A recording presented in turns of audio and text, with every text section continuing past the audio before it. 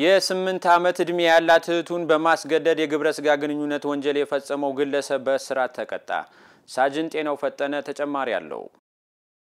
የወንጀል ድርጊቱ የተፈጸመው በአዲስ ከተማ ክፍለ ከተማ ወረዳ አራት ልዩ ቦታው መሳለሚያ ጫተራ እየተባለ በሚጠራው አካባቢ ነው።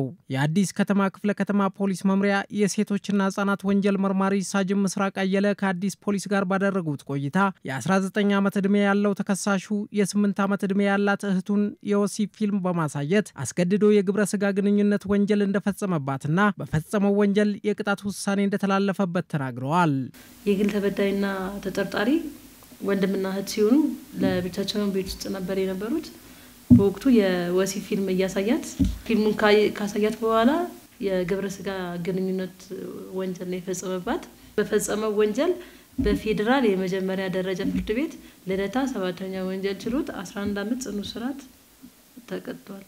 በአሁኑ ወቅት በተለያዩ ማህበራዊ ሚዲያዎች የሚለቀቁ አላስፈላጊ ቪዲዮዎችን በመመልከት ብዙዎች ለተለያዩ ወንጀሎችና ለስነ ምግባር መበላሸት እየተዳረጉ ነው ያሉት መርማሪዋ ወላጆችም ሆኑ ማህበረሰቡ የልጆችን ውሎና ባህሪ በመከታተል መልካም ትውልድ ለመፍጠር እየተከናወኑ ባሉ ተግባራት ላይ የበኩላቸውን ኃላፊነት ሊወጡ እንደሚገባ አስገንዝበዋል።